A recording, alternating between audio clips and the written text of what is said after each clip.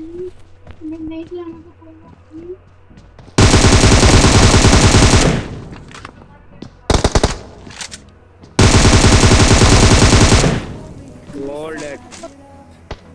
Guys आ चुके हैं नई वीडियो के साथ वापस और आज हम उठे मिल्टअप मिल्टअप खान तो हम वहाँ से निकल लेते हैं और यहाँ पे आते हैं और यहाँ पे कुछ स्कॉट्स होती हैं। ठीक है तो ये स्क्वाड निपटाते हैं।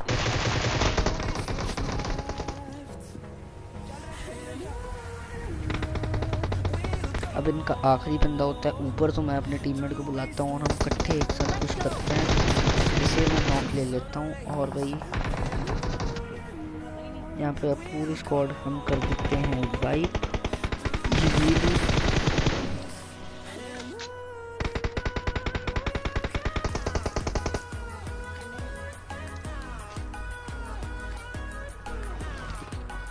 अब कुछ स्क्वाड यहाँ पे मैंने बताया था कि स्क्वाड्स थी तो भाई एक स्क्वाड यहाँ पे पहाड़ी पे भी थी और उनका एक बंदा मैं नॉक कर लेता हूँ भाई फिनिश करने की कोशिश करता हूँ पर नहीं कर पाता फिनिश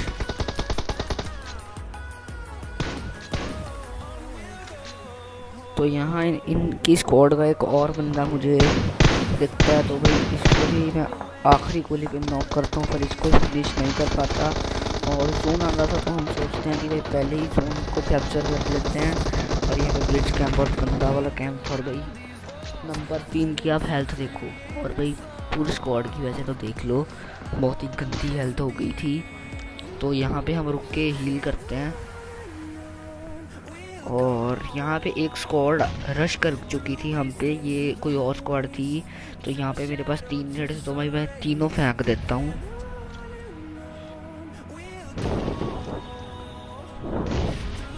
और एक नेट से बंदा नॉक हो जाता है। अब इनका आखिरी बंदा इस घर में होता है, जिसे मैं बहुत लेट करता हूँ। यहाँ पे वो हीलिंग कर रहा होता है।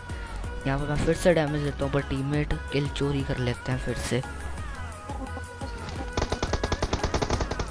अब यहाँ पे एक और स्क्वाड आ जाती है, जिनको हम पहले छोड़ के आए थे तो इस बंदे को मैं ग्रोजा से डैमेज देने की कोशिश करता हूँ, पर दे नहीं पाता। फिर एम निकाल के नॉक कर लेते हैं बंदे को।